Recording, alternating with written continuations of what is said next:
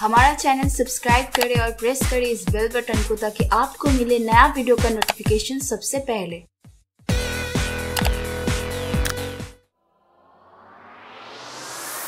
One of the most talented and beautiful actresses in Bollywood is Zero star Anushka Sharma. In her latest film Zero, she plays a scientist suffering from cerebral palsy and ends up nailing her performance to the best.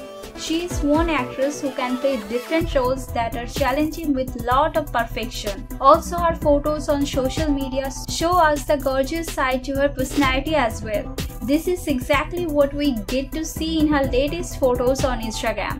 Today Anushka shared some photos in which we can see her don a bold black look which leaves us totally in awesome of her beauty. With these photos she proves that black is beautiful. Take a look on her photos.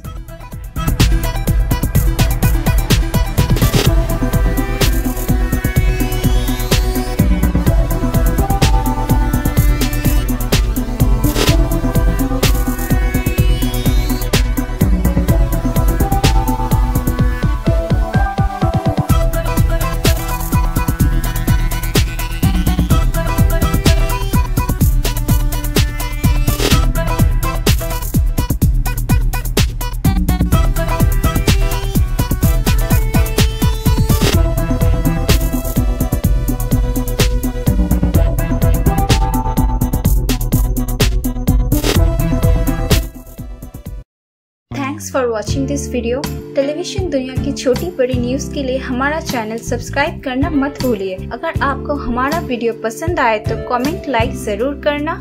फिर मुलाकात होगी अगली video में।